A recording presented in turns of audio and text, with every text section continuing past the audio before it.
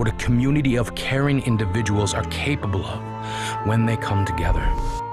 We hope to return to Out Loud um, for the same reason that Shane put to the Stay Together to establish in some way that poems can help, inclusiveness in the community can help, uh, and there are, are, resources out there uh, to not feel alone. I, I, think, anyway, that, that dialogue uh, is, uh, is an imperative, but I think you have to have a dialogue with yourself.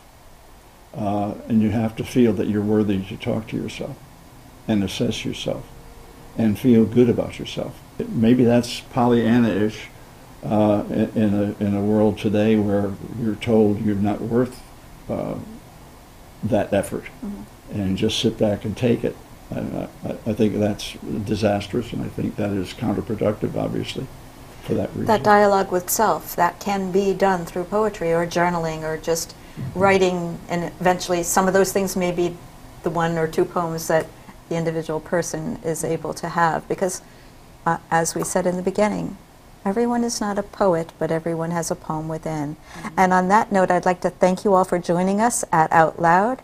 We look forward to discussing topics with you such as addiction, uh, school to prison, breaking that chain as well, possibly gun violence. We're going to let you pick the topic and we're going to reach out to you to help us find the poems that can speak to you out loud.